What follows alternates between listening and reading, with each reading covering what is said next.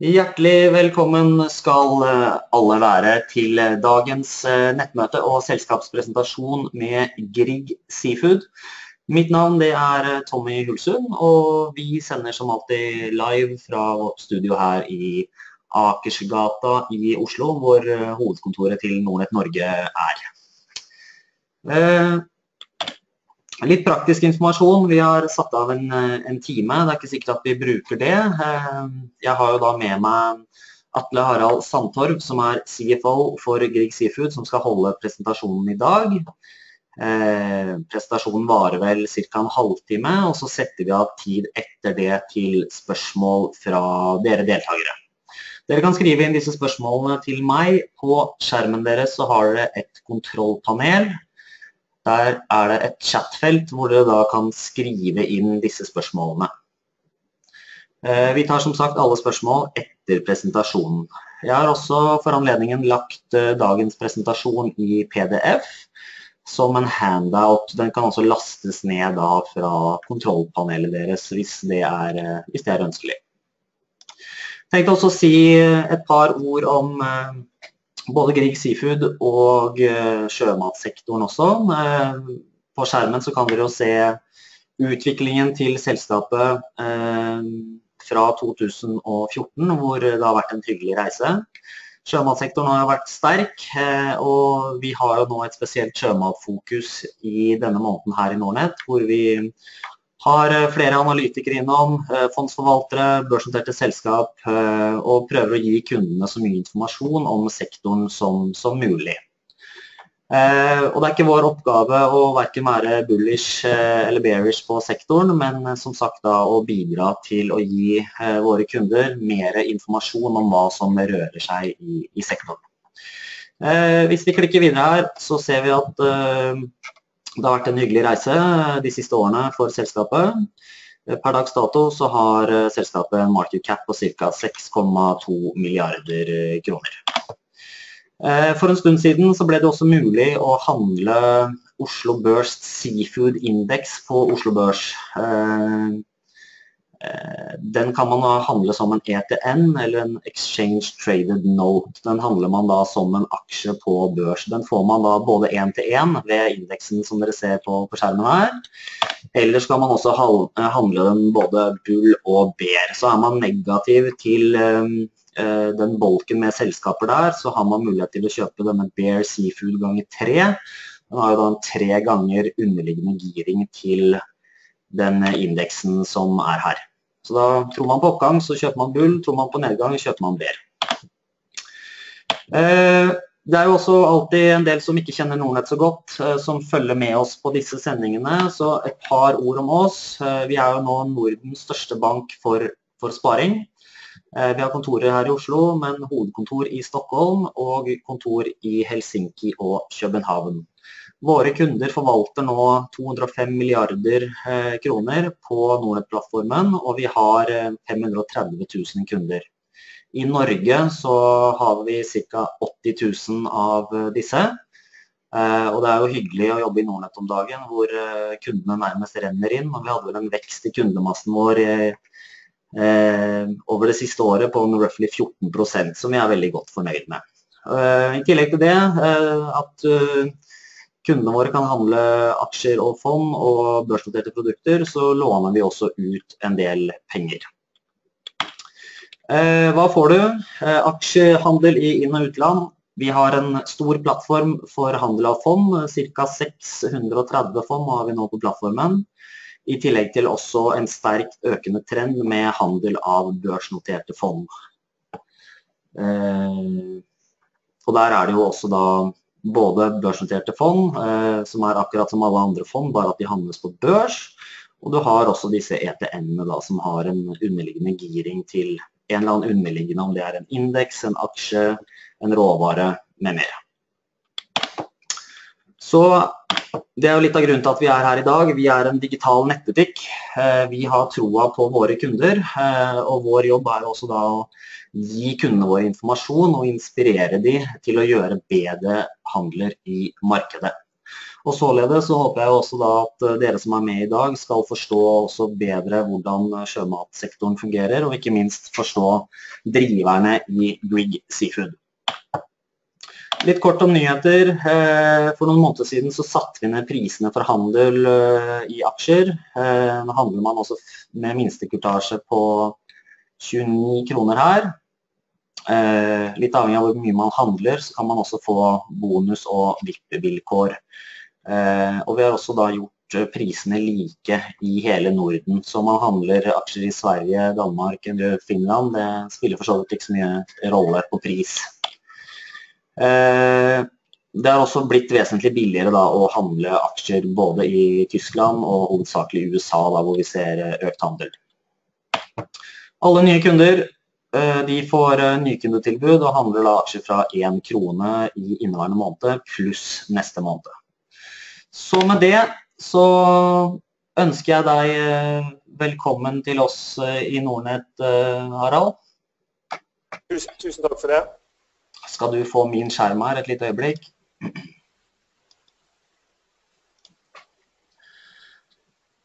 Så Da er ordet ditt, og da er det bare å ta oss igjennom det mest spennende som skjer i Greek Seafood for tiden. Ja, tusen takk for det. det er altså Mitt navn er Atle Harald Santov, og jeg er da eh, finansdirektør i, eh, i Grieg Seafood. Og skal dra litt gjennom om eh, selskapet og, og bransjen da, generelt. Men jeg skal si litt om selskapet, litt om de prioriteringer som, vårt selskap gjør.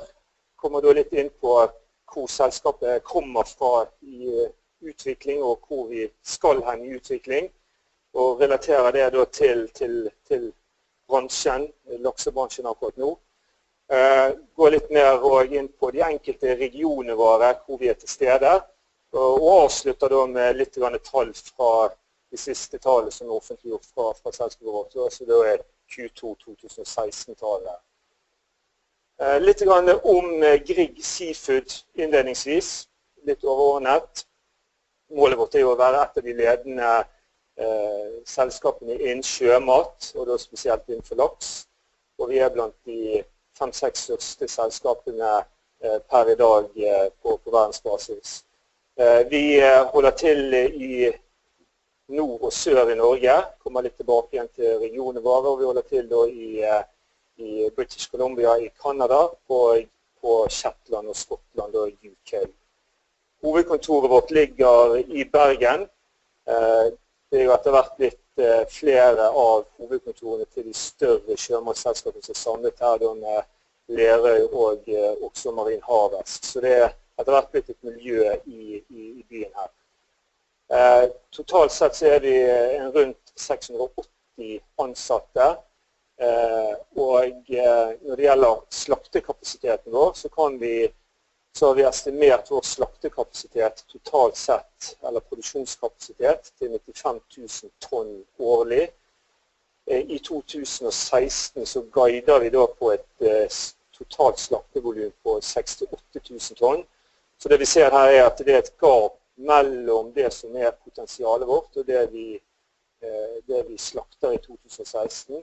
Sånn at vi er et selskap som har mulighet til å vokse Eh, i egentlig en bransje som, eh, der produksjonsvekst kan være vanskelig fremover. Så, så jeg skal komme litt tilbake igjen til det, hvilke muligheter vi har eh, akkurat der.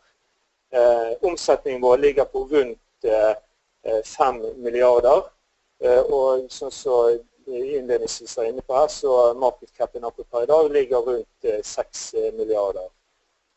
Selskapet vårt er for øyeblikket da, siden Grieg-familien eier mer enn 55 eller mer enn 50 så er det da kontrollert av de sånn sett. Eh, men eh, eh, vi har en relativt bra fri flyt av, av, aksjer akkurat nå. Eh, går vi tilbake igjen et par måneder, så satt òg Marin Harvest med en relativt stor post i selskapet, eh, noe over 25 Eh, og dermed så var relativt mye av aksjene låst egentlig i Grieg-familien og Marin Harvest, og liten fri flyt i aksjen. Eh, etter at eh, Marin Harvest solgte seg ut, som de gjorde for et par måneder siden, eller i vår, så har likviditeten i aksjen gått betydelig opp. Og, og hjulpet av økende at hele sektoren er løftet opp med øket kurs, så har og market cap'en gått opp på selskapet, sånn at den totale, totale, verdien på de aksjene som er i flyt og omsetning nå, er betydelig større, og interessen for aksjen og likviditeten som jeg var inne på, har, har øket som følge av det. Uh, litt om historien uh, til selskapet, så, går den tilbake igjen til uh, rundt 1990, da startet Grieg-familien, som er i utgangspunktet en eh, shippingfamilie. Shipping eh, startet opp med, med, med oppdrettsvirksomhet eh, i sør i Norge. Dette var en relativt liten virksomhet, og de var litt innom Canada òg. Men virkelig størrelse på dette ble det først i 2006, når de bestemte seg for å fusjonere med Volden Group, som holdt til i Finnmark, altså i 2006. I 2007 så valgte de da å gå på børs og hentet inn noe kapital i den forbindelse. Og brukte det da til å kjøpe seg opp både på, på Shetland og i Canada. Sånn at uh, den strukturen som vi har på selskapet i dag, ble på mange måter etablert i, i 2007. Uh, uh, når det gjelder selve selve verdikjeden og det vi holder på med, så, er det, jo laks vi produserer. Eh, og, vi er inne i store deler av verdikjeden. Eh, vi er involvert i eggproduksjon. Eh, vi satser på smoltproduksjon i alle regionene våre, og har selvfølgelig farming som neste bit, og slakteriprosessen, og så salg. Så vi, vi dekker hele, hele verdikjeden. Og for de av dere som som ikke er helt inne i, i fiskeoppdrett, så er det selvfølgelig så, så, er jo målet å gjenskape mest mulig eh, lik prosess til den som er den naturlige villfisken. Eh, så, så, så smoltprosessen skjer jo på land, og det er i ferskvann, og så skjer det en smoltifisering av fisken der eh, før han da går i sjøen. Eh, og totalt sett fra du har et egg til du har en ferdig slaktet fisk, så tar det 1000 dager. Så det er en relativt lang produksjon, produksjonssyklus totalt sett fra egg til, til ferdigslaktet fisk. Men selve smoltprosessen tar rundt et år, og, og selve farmingprosessen i sjø tar ett og et halvt år, sånn normalt sett. Litt om, litt om våre prioriteringer. Som jeg har vært inne på, så er det laks vi holder på med, atlantisk laks. Eh, vi eh, ønsker å være et globalt selskap. Eh, vi har en, en, en vekststrategi i selskapet vårt. Og det å være lavkost og ha kostkontroll er et viktig fokusområde vårt for oss. Og videre så er òg det å gi verdi tilbake til samfunnet, dette med å drive sustainable både i forhold til natur og lokalsamfunn, er veldig viktig for oss. Og eh, vi har stor respekt for at eh, det er allmenningen som vi har forlånt. Det er egentlig eh, samfunnet sine naturressurser vi får låne når vi får drive med oppdrett. Og det tror jeg er et viktig grunnlag for å kunne drive innenfor denne bransjen og ha, ha relativt stor respekt for akkurat den biten. Eh, som sagt, eh, fokuset vårt er, er, er Atlantic Salmon altså atlantisk laks. Eh, vi har tidligere prøvd oss på andre arter. Vi har vært noe innom ørret. Vi har vært noe innom eh, stillehavslaks, en, en art som heter coho. Vi har drevet med, med, med, med, røyking av laks, og vi har drevet med annen value added på, på laks som filetering. Eh, men de, siste årene så har selskapet fokusert inn utelukkende på å produsere eh, head on gutted, altså slaktet laks i kassemis. Det er det produktet vi skal, skal, skal, selge, og det er vårt hovedfokus. Og der skal vi bli lavest mulig på kost eh, på det. Eh, Videre så skal vi òg eh, organiseringen vår, bare ta kort om det. Eh, det er veldig enkelt. Vi har en farming-bit som da altså skal produsere til lavest mulig kost et produkt. Laks i kasse med is. Eh, og dette leveres da inn i vår salgsorganisasjon, som så da ut i markedet og selger dette eh, til best mulig betingelser og tettest mulig på sluttbrukeren. Eh, måten dette fungerer på, er at eh, når det gjelder salg, er at eh, hver uke så settes det en, en eh, markedspris i Oslo, levert Oslo, en Nasdaq-pris.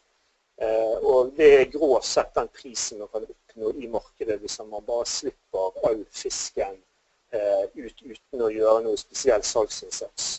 Hvis man har en god salgsorganisasjon, så slår man denne markedsprisen, som egentlig er en sånn gjennomsnittlig pris målt fra alle oppdrettere. Og driver man mindre godt, så, taper man i forhold til det.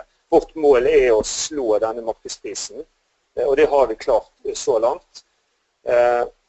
Eh, eh, og da har det vært viktig for oss å komme tettest mulig på sluttbrukeren på det.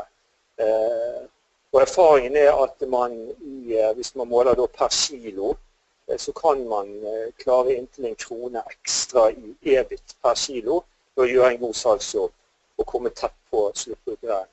Eh, og det alene vil med, med et slaktevolum på 6000-8000 tonn kunne gi en økt bunding bare på 50-70 millioner. Så salgsbiten er veldig viktig i dette. Men til slutt så vil det alltid være kanskje biologien som er, er den drivende biten for, for, for, det selskapet i størst grad kan påvirke, og, og hvordan man klarer kosten rundt det. Litt eh, om de stedene og litt tilbake igjen til markedet som vi er til stede i. Vi har eh, produksjon i Finnmark, i Rogaland, på Shetland og i British Columbia. Eh, og litt av målet vårt som vi har vært inne på, er å være et globalt selskap. Vi ønsker å være tett på de største markedene. Og vi ønsker å være til stede i de regionene der du har den største andelen av produksjonen av laks. Det eneste stedet vi ikke er til stede per i dag, det er Chile. Eh, og der har vi heller ingen planer om å gå inn. Chile har jo vært et utfordrende område. Eh, så vi føler oss komfortable med de stedene vi er til stede i dag.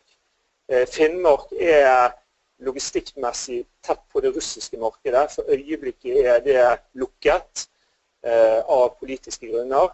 Men det er et marked som vi tror absolutt vil bli åpnet igjen i fremtiden. Og da er Finnmark veldig godt posisjonert inn mot det russiske markedet.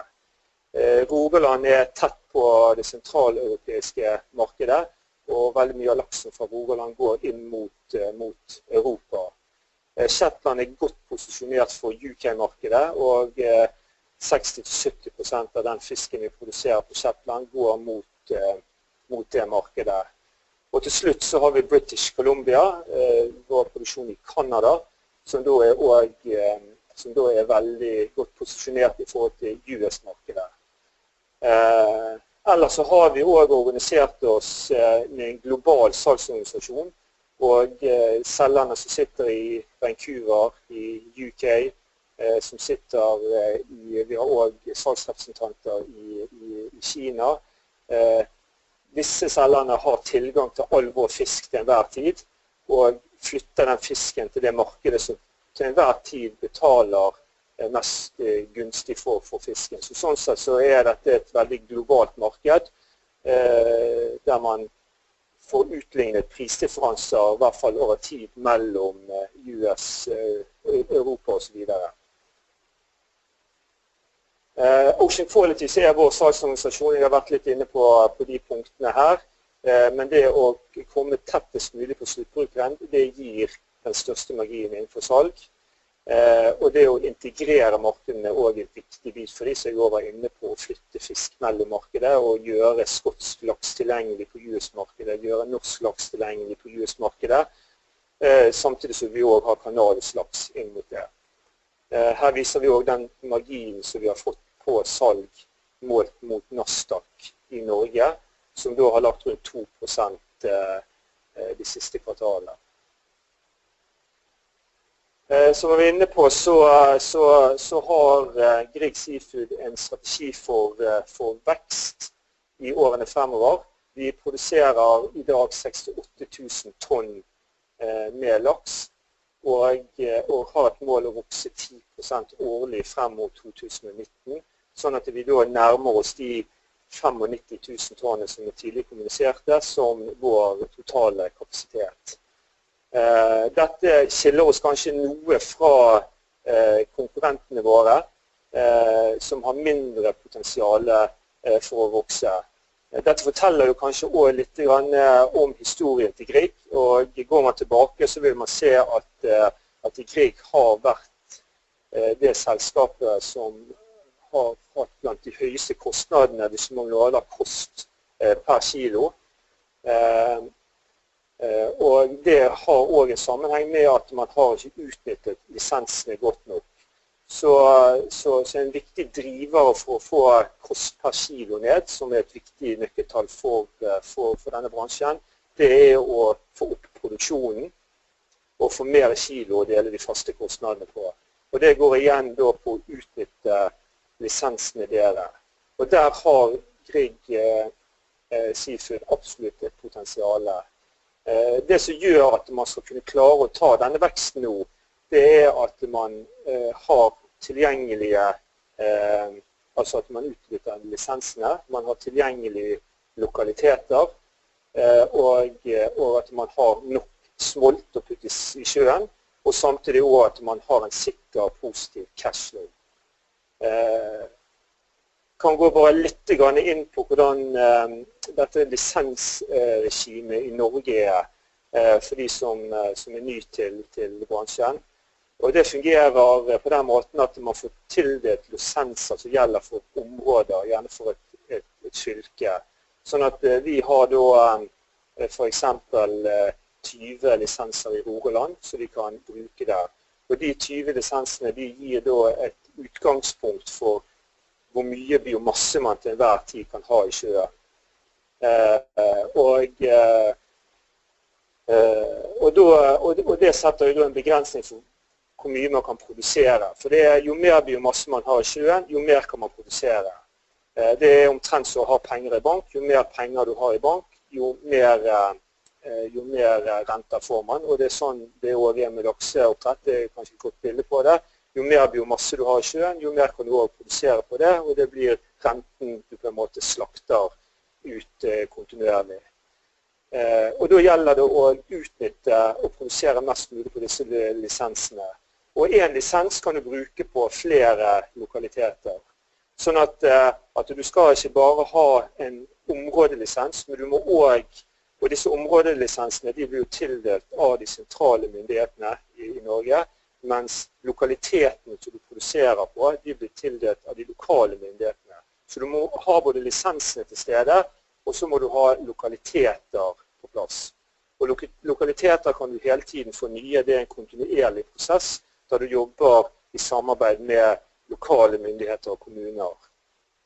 Så Det som har vært et viktig fokusområde for Grieg de siste årene, for vi har hatt lisensene, altså løyvene til å produsere i områdene, det har vært å skaffe nok lokaliteter. og Det har vært eh, et, et fokusområde, og der har vi øket kapasiteten de siste årene. Samtidig så må du òg ha nok smoltkapasitet. Du må ha nok antall smolt å putte i sjøen for å få den nødvendige veksten. Og Der har vi òg hatt et program der vi har investert i øket smoltkapasitet, der vi produserer smolten sjøl. Tidligere kjøpte vi veldig mye av smolten eksternt. Nå har vi en mye større mulighet til å produsere den sjøl og styre det sjøl. Eh, og igjen, til slutt, så er det å, å vokse innen oppdrett det er relativt kapitalintensivt både i forhold til utstyr, men òg eh, arbeidskapital med, med, med, biomasse som, eller varelager som du skal ha i sjøen. Eh, og det at vi nå er inne jeg skal komme litt tilbake igjen til markedet også, at vi er inne i en, eh, en positiv periode i markedet som gir da eh, selskapet en god inngående kontantstrøm, hjelper òg på å understøtte denne vekststrategien som selskapet har. Denne viser litt, eh, Oversikten viser litt eh, antall lisenser i Norge. 47 eh, lisenser har vi totalt sett i Norge. Og, og per i dag så produserer vi 900 tonn per lisens, mens bransjesnitt ligger på nærmere 1200. Så Det betyr at det er der vi må bevege oss, og det vil være mulig å kanskje produsere enda mer. Men med den bevegelsen så vil vi kunne da vokse ca. 10% årlig. Eh, lokalitetsfleksibilitet, det har jeg vært inne på. Vi har kontinuerlig fokus på å søke om nye og større lokaliteter og mer optimale lokaliteter både i Rogaland og Finnmark. I BC så har vi samme fokus og det samme i Zetland, men der har vi òg jobbet for å endre fra stålbur til plastringer, som er det mer den eh, vanlige eh, utstyrsoppsettet som vi har i Norge. Så der har vi lagt litt etter i BC, så det har vært et fokus der òg. Og I Zetland så har vi òg vært et fokus på å utnytte de beste lokalitetene noe mer, og produsere mindre på de mindre gode lokalitetene. har over til fokus der. Eh, Smoltstrategien vår det er, liksom, det er grunnpilaren i, i, i, i, det å kunne vokse, men òg det å få ned kost. Eh, det å bli selvforsynt med, med smolt er viktig for oss. Eh, og det er òg en strategi som, som, flere av de andre store oppdretterne eh, har hatt lenge. Det, det, som, det, som gjør, det, som, skjer når du, når du har tilgang på egen smolt og kan styre dette bedre sjøl, da har du større mulighet til å, til å time tidspunktet du setter denne smolten i sjøen. Du er ikke avhengig av en ekstern leverandør som enten kan bli forsinket, eller som kan komme med, med, mindre smolt enn det du hadde planlagt.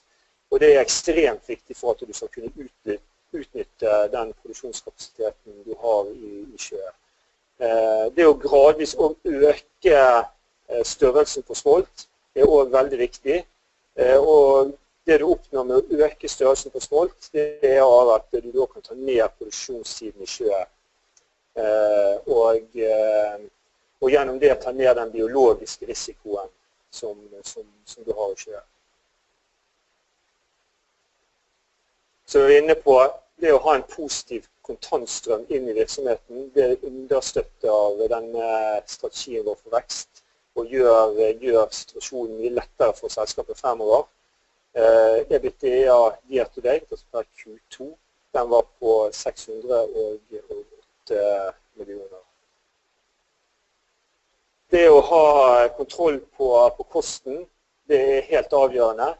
Eh, utviklingen til selskapet eh, har vært at eh, når vi gikk på børs i 2007, så var det på mange måter eh, en gruppe som var drevet som fire selvstendige eh, selskaper. Vi har, vi, har, jobbet mye for å, å de siste årene for å gå fra en mer en type holdingmodell til en konsernmodell der man har felles systemer og felles måte å styre driften på. Vi, vi, har mye å lære av hverandre innenfor biologi, og opererer nå i, i, på, tvers av selskapet innenfor for, for biologi på en helt annen måte enn man gjorde i 2007, eh, når vi gikk på børs.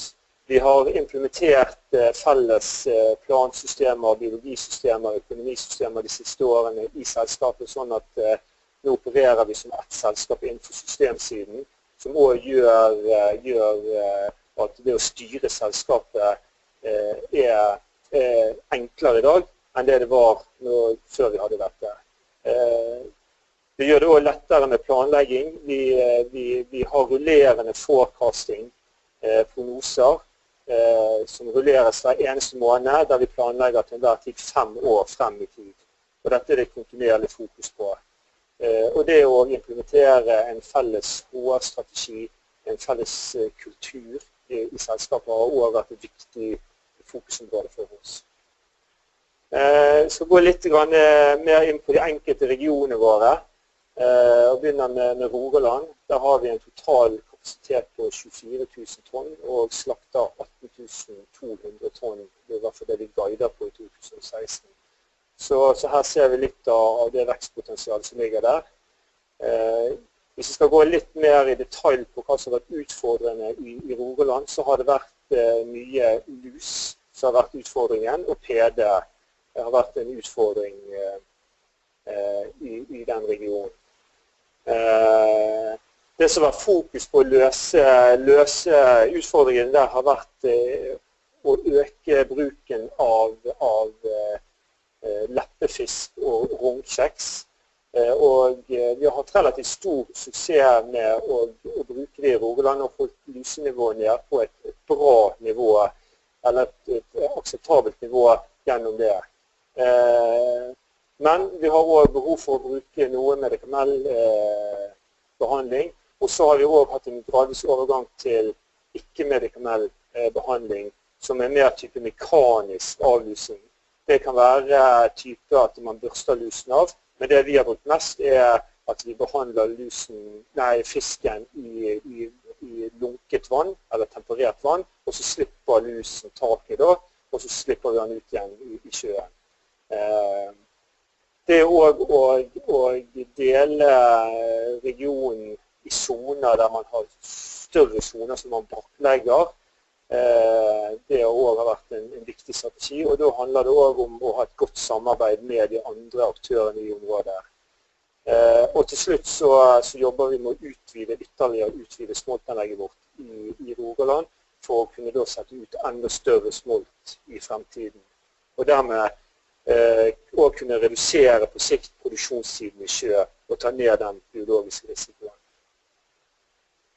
I Finnmark så har vi en produksjonskapasitet på 33 000 tonn, og eh, der slakter vi da eh, om vi skal si bare 23 300 tonn i 2016. Det er det vi ga det på der.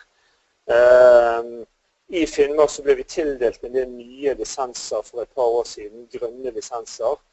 Eh, sånn at det er hovedårsaken til at kapasitets, eh, eh, kapasiteten der er relativt høy i forhold til det vi utnytter per i dag. Og, og der har vi òg en tilsvarende vekststrategi som vi har vært inne på eh, fremover. Eh, de biologiske utfordringene i Finnmark er, er, er, betydelig mindre enn lengre sør i Norge.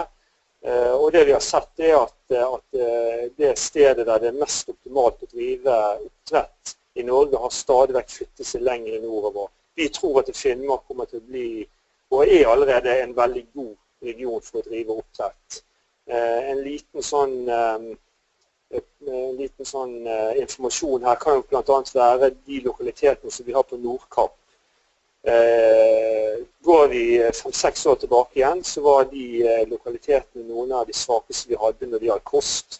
Med, med, med har med relativt høy kost. Eh, det som er situasjonen i dag, er at eh, der har det vært en lite kostnadsøkning. Det har vært veldig stabilt. Og de har omtrent samme kost i dag som de hadde for fem-seks år siden.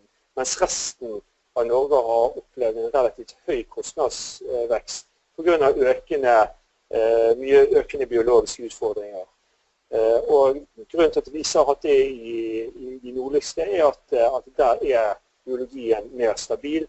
Og det er òg lengre mellom oppdrettsanleggene. Eh, fokus i, i Finnmark eh, det er òg rensefisk, eh, eller rognkjeks. Og overgang til, til ikke-medikamell behandling av lus.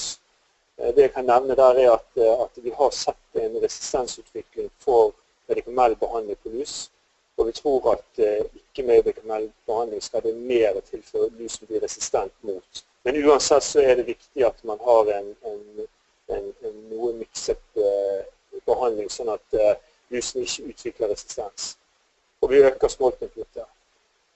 Eh, når det gjelder British Columbia, så har vi her 18 eh, 000 tonn i produksjonskapasitet, og, og vi slakter 11 800 her har det vært smolt som har vært utfordringen, og vi kommer til å vurdere eh, som gjør at vi ligger såpass etter der. Eh, og vi kommer til å vurdere et nytt smoltanlegg i det området. Ellers så har alger og lavt oksygennivå vært en utfordring om sommeren, men om vinteren så er det en god eh, produksjons... Eh, eh er det gode produksjonsmåler der pga. noe høyere temperatur. Overvåking av alger er viktig. Det å tilføre oksygen til vann er viktig i denne regionen. Jeg går litt raskere gjennom nå eh, slidene her for å eh, komme litt inn på markedet helt til slutt. Eh, I Shetland så, slakter vi 20 000, eller har en kapasitet på 20 000 tonn. 14 700 tonn er det vi slakter i 16, så også her har vi en mulighet for, for, for vekst. Mye av de samme utfordringene på Shetland som det er i Rogaland. Lus er, er kanskje hovedutfordringen. Og rognkjeks og ikke-medikamell behandling har vært en, en viktig bit. På Shetland har vi òg øket, øket smoltstørrelsen så mye gjennom et eget smoltanlegg at nå har vi redusert produksjonssyklusen i sjø fra 24 måneder til 18 måneder, eh, som er positivt. Eh, Q2 det går jeg ikke så veldig mye inn på nå. Eh, presentasjonen vår ligger ute på, på, på websiden der. Men eh, det vi kan kommentere, er jo at eh, Q2 var det sterkeste kvartalet vi har hatt. Eh, og mange av, de, mange av de tiltakene og det fokusområdene som jeg har vært inne på, begynner vi å se resultater av. Vi har, vi har gjennom det å fokusere på, på, på riktig smolt inn i sjøen med riktig kvalitet, og det å fokusere på å produsere mest på de gode lokalitetene, klart å ta og stabilisere kosten eller biologien det siste året i selskapet. Sånn at det har vi sett spesielt resultatene av med, mer stabil biologi og en stabil kostutvikling eh, de siste to kvartalene. Eh, men, det er jo ikke til å legge skjul på at mye av forbedringen i resultat kommer selvfølgelig fra markedet. Eh, og denne oversikten her viser jo eh, hvilken solid forbedring det har vært. Eh, men det som er interessant å merke seg spesielt, det er jo snuoperasjonen på Shetland der vi har gått fra en solid minus, for å si det sånn, fra når vi ser på kvartalet i fjor, i 2015 på, på 12,5 eh, kroner per kilo, til 22 kroner pluss. Og, der ligger det en betydelig forbedring også gjennom at kostnadene har, har, gått ned, og biologien har stabilisert seg. Eh, gjennom dette her så har jo òg den giringen i selskapet og eh, netto gjeld gått, eh, gått, ned. Sånn at den finansielle situasjonen til selskapet er styrket gjennom de siste kvartalene.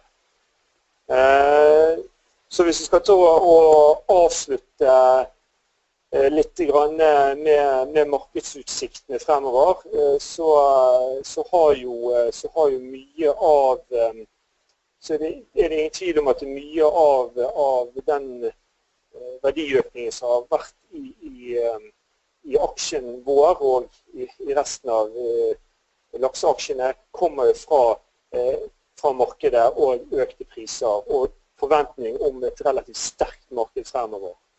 Det som jeg tror er, er den store game changeren i dette, her, det har vært, det har vært og som, som ligger der, det er jo den underliggende etterspørselsøkningen som har kommet gjennom det at laks er blitt mer tilgjengelig for kunden. Eh, og Det går på, på mye på måten laks presenteres på. Og det er veldig stor forskjell når du kommer hjem en, en ettermiddag og skal lage deg et laksemåltid, hvor du sitter med en hel frossen fisk på kjøkkenbenken og skal begynne derfra, kontra det å ha en foliepakke Eh, med ferdig fileter så du ikke trenger å røre det hele tatt. Du bare legger rett inn i ovnen. Eh, det har vært, eh, det har vært en, en, en, ekstrem endring for kundene i en positiv retning. Og mange, mange konsumenter har vent seg til å spise laks fast. Og det som tidligere vi opplevde var i Europa var veldig sånn kampanjedrevet. der der eh, supermarkedene kunne kjøre kampanjer på laks, og så var laks ute av grillen en periode. Der er man mer avhengig av at eh, altså, de må ha det i butikken. Eh, og, og, kundene har vært villige til å betale noe mer for det. Og, og, det er en underliggende økning i etterspørselssida. Men så har vi da ikke klart å følge opp med en tilsvarende tilbudsøkning. Sånn at, eh, at her har det blitt litt gap. Og det har jo vært litt av grunnen til at prisene har gått så, på så mye opp som de har gjort. Eh, vi tror jo at det blir vanskelig å få noe spesielt høy vekst i tilbudet fremover. Det betyr jo at, at markedet vil, vil, kunne presse enda mer på her. I år så får vi en nedgang i, i tilbudet. Til neste år så har vi et tall i tall der vi forventer en liten oppgang på, på, på, på rundt 3% men fortsatt så, så, ser det ut til å være for lite i forhold til å dekke inn det som er etterspørselsøkningen. Og Så blir det også spennende å se hvordan eh, US-markedet kommer til å, å reagere fremover. Eh, nå har jo Chile falt ut med, med, med, relativt mye fisk og hatt utfordringer, sånn at eh, det skulle, kom, skulle, ha kommet relativt mye fisk fra Chile på US-markedet nå i eh, Q4 og i Q1 inn i neste år. Den uteblir pga. at fisken er død. Eh, og det blir spennende å se hvordan det markedet vil reagere på det. Eh, på lang sikt blir det òg veldig spennende å se hvordan et typisk US-marked vil reagere på å utvikle seg innenfor laks. For eh, laks har ikke vært tilgjengelig fersk i butikker på US-markedet. Det, det, det, jobber man nå for å, å få inn. Og spesielt Marin Havs har virkelig gått i, i front for å få det til. Eh, og vi tror at, eh, at det vil da komme en endring i forbruksmønsteret til amerikanske konsumenter. Og Det kan bli veldig spennende å se når de eventuelt oppdager at, eh, at det er like godt med laks på grill av og til som biff. Og, og, og, det er jo like sunt og ikke sunnere òg. Så det var vel egentlig de tingene jeg var tenkt å si. Så, så da åpner vi opp for, for spørsmål. Takk for det, Atte. Eh, det har absolutt kommet inn noen spørsmål her. Eh, jeg oppfordrer alle også til de som sitter nå og lurer på et eller annet. Eh, benytt muligheten til å skrive inn spørsmål til selskapsledelse. Så skal jeg lese opp de spørsmålene som kommer, og så tar vi de fortløpende som de kommer. Jeg tenkte også vi skulle gjøre bare en liten poll eh, på, skjermen her. Eh, hvis vi skal få launcha den her nå, skal vi se. Sånn. Og da er det muligheter for dere å, å svare på, på, skjermen her. Spørsmålet er som følger. Er festen i lakseaksjer over? Eh, svar ja eller nei. Så skal vi se hva Eh, voten kommer ut med her. Det blir litt spennende å se. Spørsmålet er som følger. Er festen i lakseaksjer over? Ja eller nei? Skal det videre opp? Eller eh, har disse aksjene toppet ut? Da har vi ca. 60% som har eh, svart så langt. Lar vi den ligge et par sekunder til. Er det bare å svare, folkens? Er du spent på resultatet, Atle? ja, det, er jo, det, kan jo være, kan jo være spennende det. Ja, Da er det jo sånn at verken jeg eller Atle da, har mulighet til å eh, svare her. Da tror jeg vi eh, stenger den ned om et par sekunder her. Er det 73 eh, svar. Skal vi se stenger vi den der. Og så skal vi også få delt uh, svar, svaret her. Er festen i lakseaksjer over? Og da er det 90% som svarer at nei, festen er ikke over, uh, kjøp aksjer. Og det er 10% som svarer ja. Så det er jo alltid litt gøy å se også hva, hva folk mener om uh, disse tingene. vi skal gå over til spørsmålene. Eh, spørsmål 1. Eh, jeg leser følgende. Hva tenker dere om landbasert oppdrett? Eh, det vi tenker om landbasert oppdrett, det er at for oss er det, et, er, det, er det, viktig å utvide produksjonskapasiteten på land. Men ikke for å, å produsere laksen opp til fire-fem kilo som er endelig slaktevekt på land. Da er det mer for å produsere smolten større Sånn at vi kanskje på sikt kan tenke oss at vi putter av laks eller smolt som er, er, er et halvt kilo, kanskje et kilo i sjøen, for å ta ned den biologiske risikoen i sjøen. Vi tror at, eh, at eh, det å produsere laks på land, det er en lang vei å gå. og det vil òg være et annet produkt eh, enn å, å, produsere i sjø. Eh, det å produsere laks i sjø vil fremstå som villaks i forhold til det å produsere fisk, fisk på land. Eh, og så tror vi også, og det er vår erfaring også, at det å produsere laks i et lukket anlegg det, det, Du har selvfølgelig den muligheten til å kontrollere eh, biologien helt med at det er lukket. Men vi ser jo òg det at får du problemer inn i et lukket anlegg, så er problemene betydelige. Eh, og, og, du trenger relativt store landområder og, eh, til å, gjøre dette. Eh, så jeg tror at, at det, det, er en, det, er en, relativt lang vei å gå. Det kan jo komme. Og jeg tror at markedet vil oppfatte en, en laks produsert i, i, Kina på land eller i en ørken hvor som helst, eh, hvis det var det man skulle gjøre. Eh, vil oppleves som, som, et annet produkt enn en, en, en, fisk som er produsert i sjø på Nordkapp eller på Shetland. Bra. Eh, jeg leser bare videre her. Hvordan påvirker et fall på 20 kroner i lakseprisen dere på kort og lang sikt?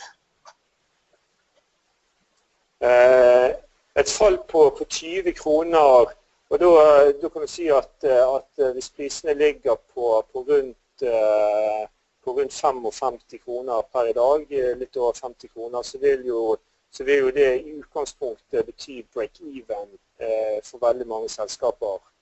Eh, det betyr at, at, på kort sikt så tror jeg at, at i hvert fall for oss så vil det være sånn at på kort sikt så vil ikke det være et problem for, med en styrket balanse på lengre sikt eh, så vil et fall på 20 kroner være, være en, en, en, større utfordring med at man da nærmer seg break-even. Eh, og, at inntjeningen da vil bli, redusert. I så fall så må kostnadene betydelig ned fra det nivået som, som de er i dag. Hvis vi snakker om 20 kroner ned i pris. Men, det vi må, ta med oss i, det, forhold til det spørsmålet, det er at, eh, at uh, prisene har jo egentlig gått fra Når de piker på, på, på 70 kroner, så har de beveget seg ned nesten 20 kroner nå. Eh, og, og, vi er inne i den perioden av året der normalt sett prisen er lavest. Med, med, med, med relativt store volum som kommer ut samtidig som vi ennå ikke er helt i gang med julesesongen. Så, så, historisk så pleier eh, de ukene som vi er inne i nå, være, være relativt lave. Så vi har jo egentlig allerede gått. Så de 20 kronene var uproblematisk. Men skulle det gå ytterligere 20 ned, eh, så er det en større utfordring. Det kan nok tenkes her at uh, Spørsmålet til kunden er uh, da det prisfallet som har vært på lakseprisen. Ja. Eh, men eh, som du sier også, dette er sesongmessige svingninger, og da leser jeg opp et annet spørsmål som har kommet her. Eh, og kunden spør følgende, kan du si litt om sesongmessige svingninger i lakseprisen i andre halvår? Jeg så jo også at du hadde en liten slide på det her tidligere. Som kanskje viste litt at denne prisen ofte tar seg opp da, mot juletider. Kanskje du kan si litt om hvorfor det, og hva du tror om dette også i år? Mm. Ja, altså Generelt så er det sånn at, eh, at, eh, at produksjonen av laks er størst når, eh, når, på, på sensommeren i Norge. Det er jo Norge som er den største laksprodusenten. Og Det som skjer da er at, at veldig mange, mange oppdrettere kommer i en situasjon der de passerer eller kommer opp under det som de maksimale tillatte biomassene de kan ha i sjø i henhold til lisensene de har. Eh, så Derfor så er det mange som Mye av, av den produksjonen som du har i de gode månedene blir, i Norge blir slaktet ut i type september-oktober. Eh, og det gjør at, at, Og så kommer du da fra, fra en, en, periode med, med, litt mindre produksjon. Eh, sånn at da treffer du plutselig markedet litt hardt i de månedene. Og det, Tradisjonelt sett så har prisene da gått ned, ned i de månedene. Eh, og, så, og, så, går produksjonen kanskje noe ned, stabiliserer seg, og så begynner du å nærme deg jul. Eh, og så øker etterspørselen når du begynner å nærme deg jul. Og da har tradisjonelt sett eh, prisene gått opp. Dette er bare sånn veldig generelt. Derfor så registrerer jeg at, at noen analytikere har ofte det rådet at, at, at kan, man kan selge aksjer, lakseaksjer rett etter eller akkurat i fellesserien, og så kan man kjøpe seg opp igjen i denne perioden her når, når tingene faller. Men det, det, det, er ikke alltid markedet fungerer så enkelt. Eh, men det bare registrerer jeg, og det er litt sånn på, på spekulasjon på at dette ofte skjer på, på denne tiden her.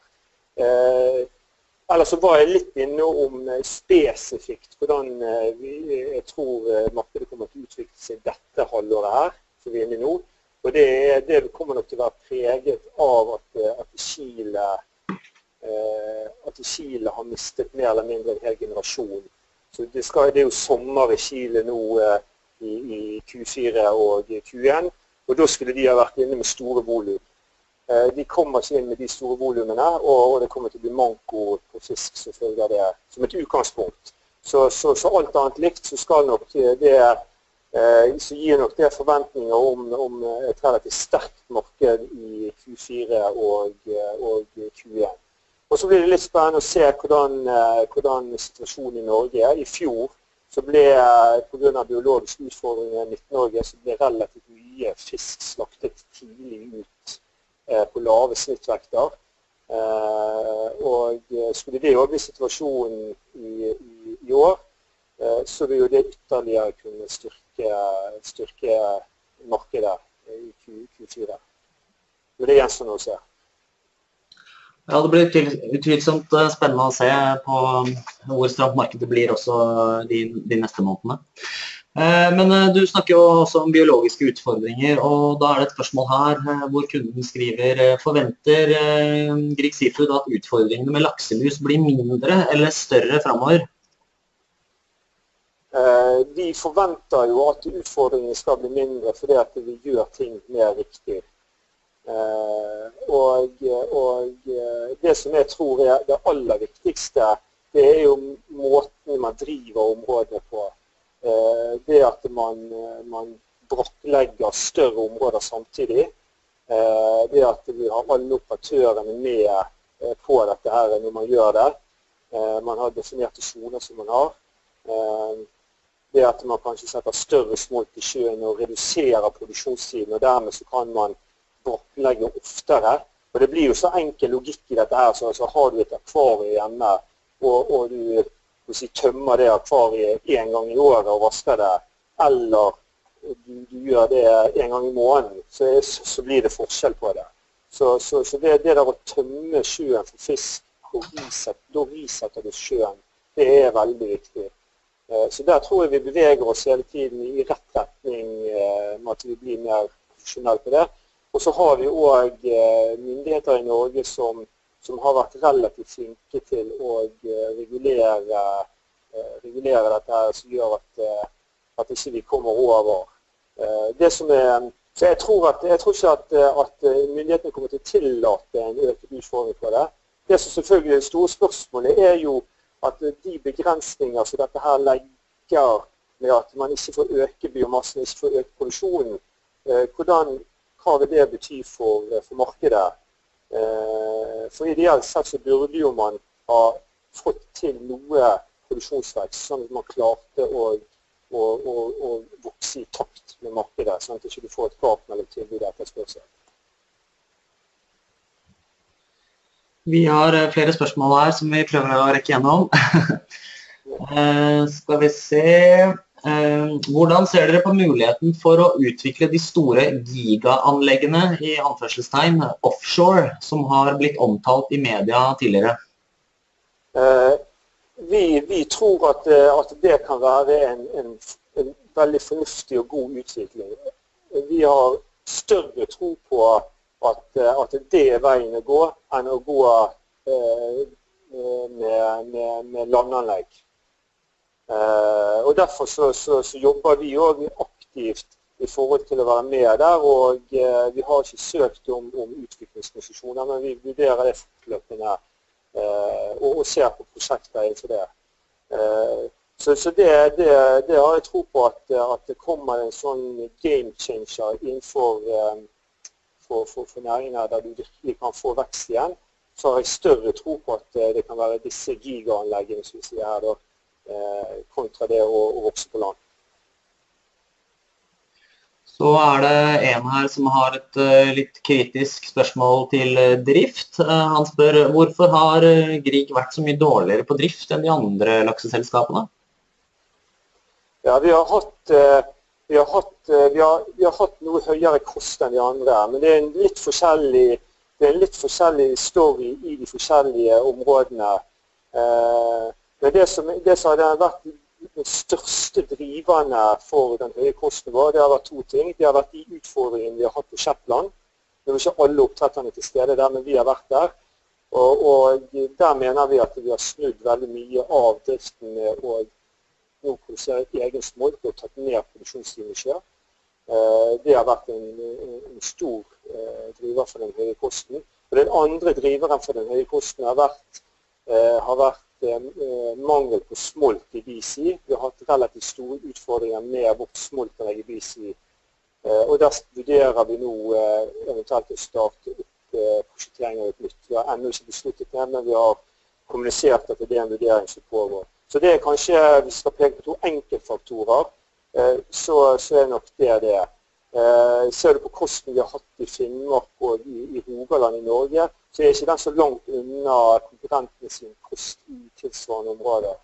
Men de to eh, regionene på Shetland og BC har hatt, eh, kanskje vært de som har drevet mest opp. Så har vi et spørsmål her som går litt rundt det russiske markedet. Hva vil det si for dagens pris dersom man skulle få en åpning av det russiske markedet? Ja, det, det, blir veldig vanskelig å si.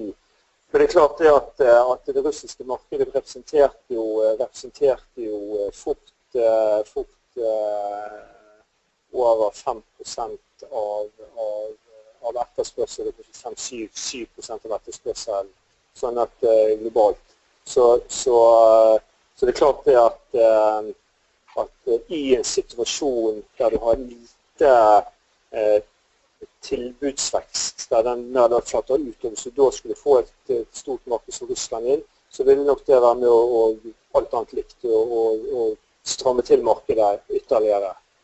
Eh, eller styrke markedet, da.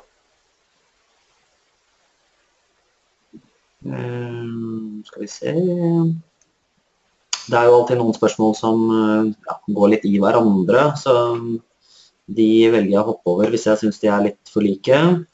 Eh, men et eh, morsomt spørsmål er jo Grieg Seafood, hvor er dere om fem år? Ja, om fem år så, så, så skal vi produsere så skal vi, være, så skal vi øke produksjonen vår fra, fra, det nivået som vi ligger på i dag, med 80 000 tonn, opp mot 95 000 tonn.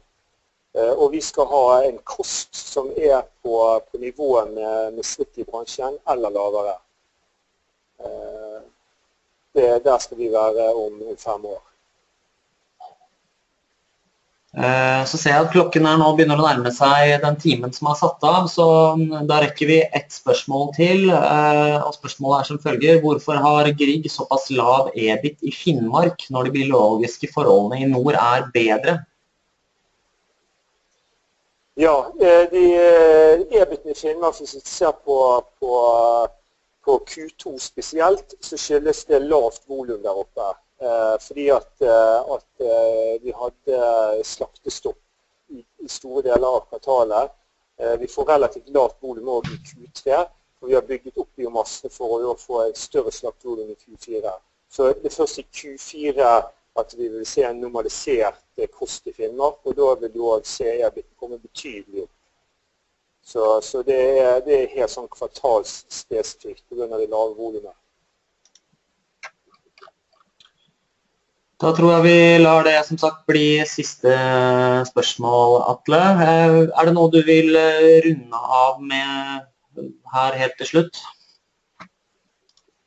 Nei, altså det jeg vil runde av kanskje litt sånn som vi begynte. Vårt fokus er altså ser vi på historien til selskapet, så har vi, og etterspørselen var inne på det òg, at vi har lagt noe over post i, i, i bransjen. Og sånn sett så har jo òg aksjen vår vært, vært, selvfølgelig vært preget av det òg.